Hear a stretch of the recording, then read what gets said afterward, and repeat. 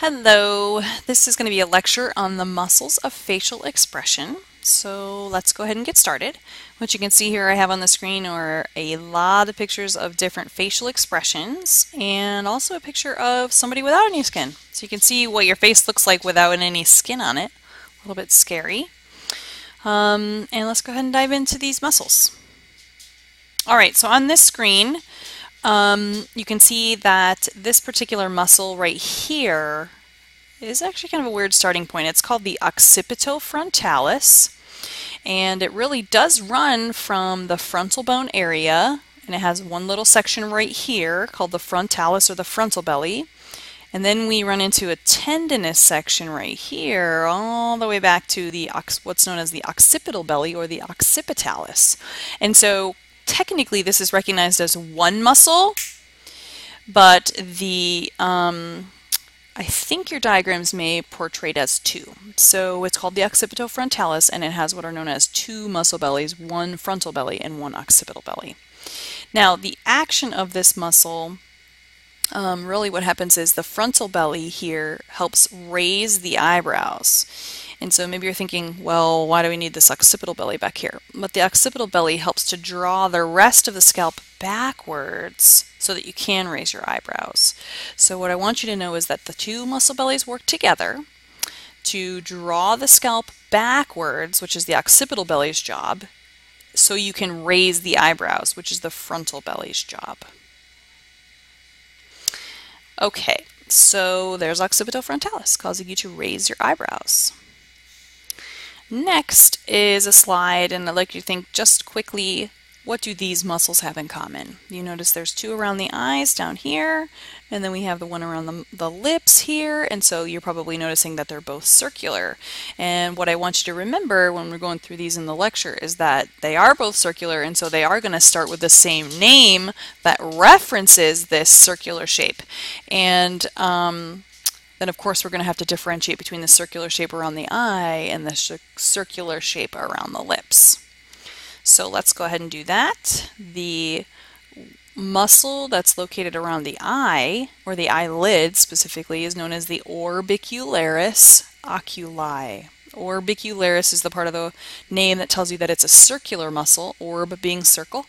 Oculi is the part of the name telling you where it is. So we're going to use a different word for the one around the lips, of course.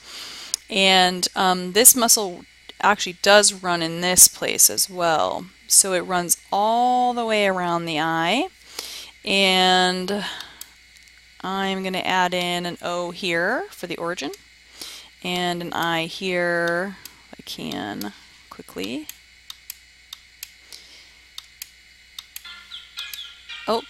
My phone's ringing. Okay, where were we? Got it interrupted there. All right, so I've been drawing in the origin, which is here in the medial aspect of the eye, um, and then the insertion is going to be all around the eye. And so what we get, if I can make this work, is when the insertion gets pulled towards the origin in all of these places, you get a closing of the eyelid. So this particular circu circular muscle acts like a sphincter muscle that closes the eyelid. Um, so there's that.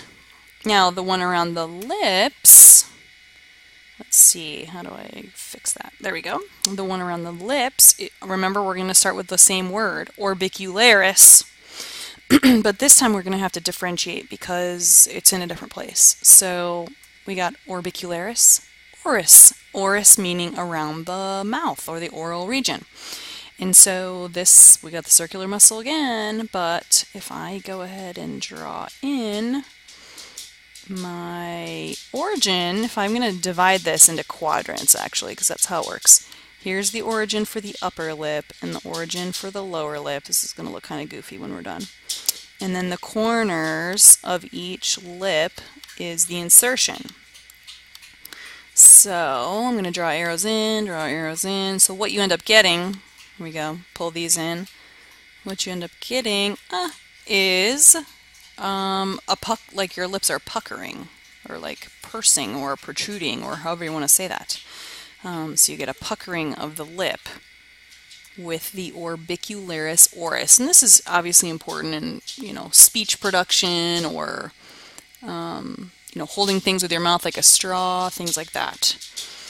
So orbicularis oris around the lips, causing lip movement. Now what I want, do want to mention before I move on is that this muscle is not attached to either the maxilla or the mandible. It's completely attached within the soft tissue of the face. And so it only moves the lips. It doesn't open the mouth or close the mouth or do anything like that. Um, only moving the lips. All right, next one, we have an interesting picture here. Notice this muscle in purple, obviously, is the one that's um, being indicated. And it's going to attach to the zygomatic bone up here, your cheekbone, the zygomatic bone and then down at the corner of the lips, right at the edge of the orbicularis oris that we just talked about. And so what this muscle is going to do, do this before I tell you its name, is to draw the corner of the mouth, or the lips I should say, upward towards the origin, which is on the zygomatic bone insertion down here. And so what you get is a smile. Smile on your neck. um, so this muscle is known as the zygomaticus major. So origin on the zygomatic bone, insertion skin at the corner of the lips, and we get an elevation of the corner of the lips. Now I think my screen's getting a little cut off, but this guy is saying, oh, you're so cute, you make my zygomaticus muscle contract. Ha ha. All right, next on the list, here is a muscle known as the platysma. And you can see this part of the word platy means flat and broad, so I'm thinking that that's probably why the pl um, platypus was named the platypus, because it's got that big broad tail and that like weird duck beak thing going on that's flat and broad, and it looks kind of like a squished rat, but a really big one, so maybe that's why. So anyway, here's the platysma. It's a very thin muscle that acts sort of like a blanket on your neck, and its origin is down at the bottom. Put this in here. Here's the origin. Oh, I wish I could change colors. Um, ooh, I think I can change that. Ooh, origin at the bottom insertion up here on the mandible. And so what we're going to see is that not only does this muscle insert onto the actual mandible bone, but it also inserts onto the skin of the lower face. And so we get really kind of two different actions, which produces a lovely face. Um, when you combine them. So we're going to move that downward. And so what you're going to get if you move the mandible downward is uh, depression of the mandible. Let me get rid of my tool here so I can click. There we go. Depression of the mandible. Oops, there he is. He's so lovely. And depression of the skin of the lower face, which causes a sort of a grimace that you're seeing here. So I would I would um, recommend that you try this lovely face. And when you do this, you're going to see the platysma It's going to kind of jump off your neck right here, and you'll see all these various tendons, and it looks really quite lovely, actually really gross. So the platysma helps to lower the mandible, which we call depressing the mandible, which is really just opening your mouth, and then also the corners of the lips in kind of a grimace face. It does not give you the double chin like we're seeing here, or it does not raise your eyebrows, but you know, those are incidental to this picture. Okay, next on our list, this one based on the name should be pretty obvious as to its location. It's called the nasalis. And if you look right here across the bridge of the nose, we see that these little muscle cells are running transversely or horizontally. So this part right here is going to help to compress the bridge of the nose. And then the lower region, which we actually can't see in this diagram, they've covered it with skin, helps to flare the nostrils.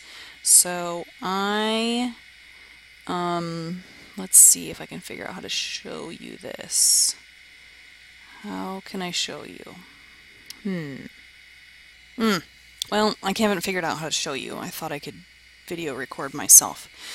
Uh, but anyway, the nasalis kind of compresses the nose. So think about trying to like move your nose back inward towards your face, almost like a little bunny rabbit. It's not squinching the nose up towards the eye because that's these guys right here, which is different. But it kind of pushes the nose down. And then, of course, I think you know what flaring the nostrils means. So we've got little muscles around the nostrils which actually act like dilators to open the nostril and um, give you the ability to flare the nostril. Okay, so that's nasalis.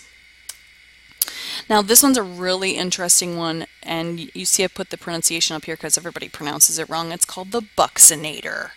The buccinator. And this muscle is kind of in the hollow of the cheek. It's deeper than some of the other muscles, so what you might see in your diagrams is a little stringy one running across it. Um, but this one's called the buccinator. And what this one does is, and you're going to have to try this so you get the message, it allows you to compress your cheeks against your teeth. So when would you do this? Well, if you're trying to whistle, you have to obviously use orbicularis oris to protrude the lips, but you also got to kind of suck your cheeks inward. Or if you're going to suck through a straw, you have to create that suction with your mouth, which sucks the cheeks inward. So people that play um, like a brass instrument, like a trumpet or something like that, will have um, generally really well developed, really well controlled buccinator muscles. Um, so here's your action. Presses the cheeks towards the teeth like when you're whistling or if you're sucking air inwards. And you can go ahead and give that a try. Hopefully you are understanding what I'm talking about. The buccinator. There's my trumpet.